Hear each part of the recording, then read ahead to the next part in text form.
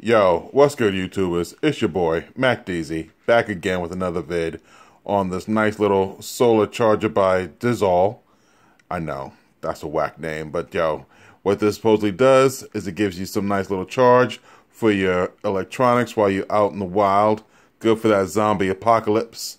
So as you can see, this is a made in China special but it does carry a lithium uh, polymer battery with two with two DC 5 volt 1 amp uh, out and one input. So it does charge, as you can see right here, your iPhone, your iPad, your Android phones, GPS devices, cameras, etc. There's a few other things here that it does carry, including a emergency LED light. So that does make it, you know, one of the nicer ones for the price. Uh, got picked this up on Amazon for about 20 bucks. So we're going to test it out and let y'all know what's the deals. Catching back up on it. Don't forget, throw me up some of them thumbs. One.